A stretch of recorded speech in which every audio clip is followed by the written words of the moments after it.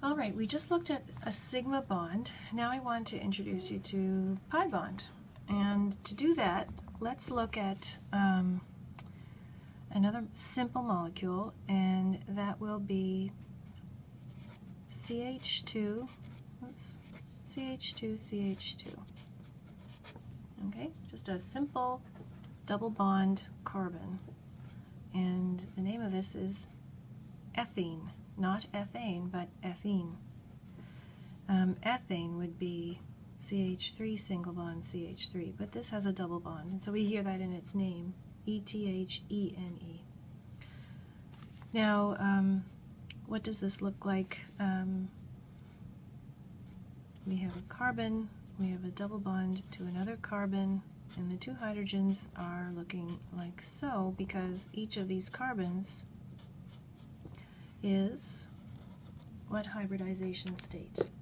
Remember in methane, in methane it was sp3, but here each carbon, they're both the same, each carbon has one, two, three effective electron groups, and so each carbon is sp2 hybridized. You can't see that, there we go.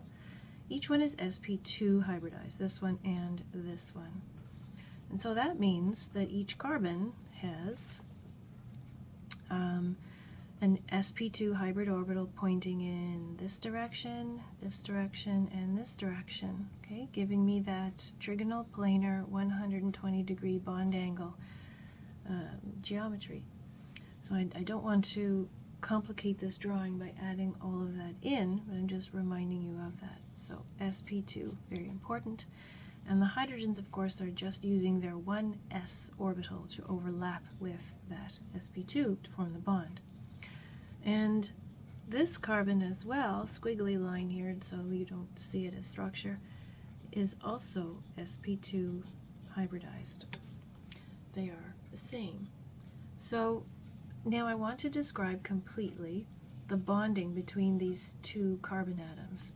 I can see that, just for example, the bonding here, this is a single bond, and so this is a sigma bond. And the sigma bond here is a direct overlap between the sp2 orbital on the carbon and the 1s orbital on the hydrogen. And that's the same sigma bond that is in place here and here and here. And we went over the sigmas in the last video. So let's take a closer look now at this double bond. So this is a double, a double bond. And a double bond has two parts. Whereas a single bond is a sigma bond, a double bond is made up of one sigma and one pi. It's made up of one sigma and one pi. Anytime you see a double bond, so these two lines, you know that one of the lines represents a sigma bond and the other represents a pi bond. Let's describe the sigma bond completely between these two carbons. Well, it is the double bond, okay, the double bond is made up of a sigma and a pi. But if I want to describe the sigma bond, the sigma bond is a direct overlap between between what on this carbon and what on this carbon. They're the same. So it's between the sp2 on C1, let's call this guy C1 and this guy C2, and the sp2 on carbon 2. That's what it is. Now the pi bond is something a little more special. And I have to take you back to uh, let's a little aside here. Let's move over here and just do a little aside work. Remember when we were talking about hybridization states in general? and we said, look, the carbon has um, S's or S orbital and p orbitals. And in order to make, in this case, an sp2, it is using one of the s and two of the p's to make um, hybrid orbitals, one, two, three. Each of those are called an sp2.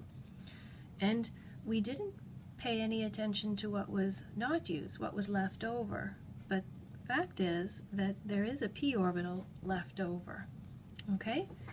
And so the sp2 hybrid orbitals that are here are centered on this carbon. And I'm just going to redraw that down here. So this carbon has an sp2 in this direction, and an sp2 in this direction, and an sp2 on the bond axis with the other carbon. Okay, so that's like 120 degrees, this, these bond angles, right? Because that's my trigonal planar geometry. And if you want, we can draw in the 1s of the hydrogen, right? And there's my sigma bond for my overlap. Now, um, the other carbon atom, let's draw it in. The other carbon atom is here. And it has also an sp2 hybridization state. So it has, I need to draw this about the same size. And I've not done that very well. So rather than start over my video, I will just start over my drawing. This is sort of like live TV. Okay, here we go. Okay, good. And there's my carbon. And I've got another one this way and another one this way. And again, these are my two hydrogens. And there's my sigma bond overlap between the 1s on the H and the sp2 on the carbon. Okay, so here's my overlap here. There's the sigma part of this um, double bond. And so it is an overlap, as we said, slide it over to what we said. A direct overlap between sp2 on C1 and sp2 on C2. So you see why it's called a direct overlap. I'll just use my, my pens as an example here. And actually we'll use them that are the same. And so here are my, my two um, sp um, hybrid orbitals, and these are the direct overlap in this way. So do you see why you can only ever have one sigma bond? Because once you direct have this direct overlap, this head-on collision, there's, this, there's no other space here for more orbitals to um, directly overlap. So um, I have these here, so where does the pi overlap? How can that actually overlap?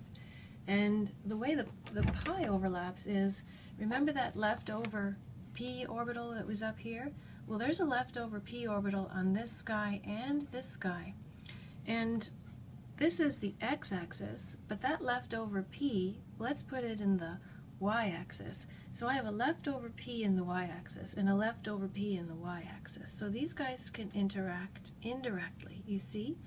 So whereas they cannot overlap directly, because that was the x, I have a py and a py that can that can interact, and we say that this pi bond has um, interaction above and below the sigma.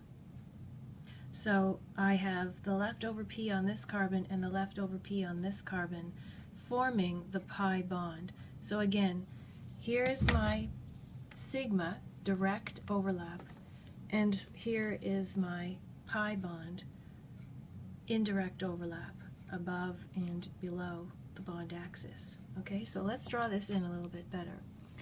Let me keep with the green and draw in back on my carbon. So we've really exaggerated the bond distance here just so that we can draw everything without crowding. But my leftover p orbital, this one right here, is, I'm going to draw it, remember p's are my figure 8, so I'll draw it here, and I have a leftover py here. Um, it could have also been a left a pz and a pz, in which case it would be like it would be this and, and this, but I like the Y because it's better on my two-dimensional limit of the paper here to demonstrate. And so this is why the pi bonds have an indirect overlap, because I can see I'm not overlapping lobes. They're just aligned with each other. Okay, they're in the, the same plane. So, um, that's that's our depiction of a pi bond. So back to the actual description to complete it. Um, so uh, whereas the sigma was direct, when you write a pi, it is indirect. Part of your complete description. So a pi bond is an indirect overlap. Now I know the word overlap sounds almost misused here, but remember it's qualified with indirect. An indirect overlap, again between uh, two things, and these two things are you're going to have an atomic orbital on one of your atoms and an atomic orbital on the other atom. So the same sort of format as describing a sigma bond. However, when you describe a pi bond, you will never use a hybrid orbital because hybrids are made so as to create that direct uh, bonding, uh, directional bonding, and a, and a direct overlap or a sigma bond. So whereas hybrid orbitals are used in the sigma bonds, only p's are used in a pi. And I think that's easy to remember given the, the, the letters used for its symbol.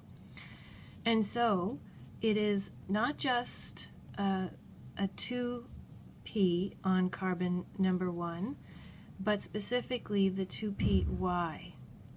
Okay, to demonstrate that you understand they have to be in the same axis to have that alignment for indirect overlap. So I couldn't say a 2py on this carbon and a 2pz on this one because I'd be lined up sort of in this axis and this one. That wouldn't work. So either a 2pz and a 2pz or a 2py and a 2py. And by convention, I don't say x and x because the x-axis is used by the hybrids.